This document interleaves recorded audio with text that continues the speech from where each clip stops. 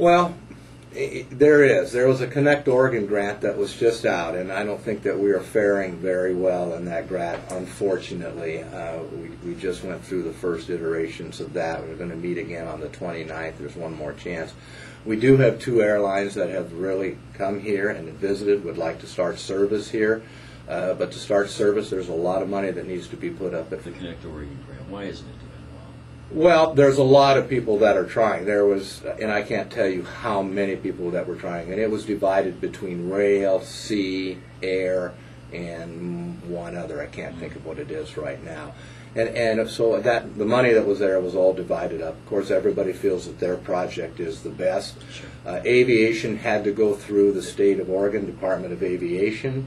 The Department of Aviation also had its own agenda, or they had a dog in the hunt, which made uh, no other things uh, seem to fare very well on the aviation side because of that, which is an issue uh, we're a little dumbfounded about.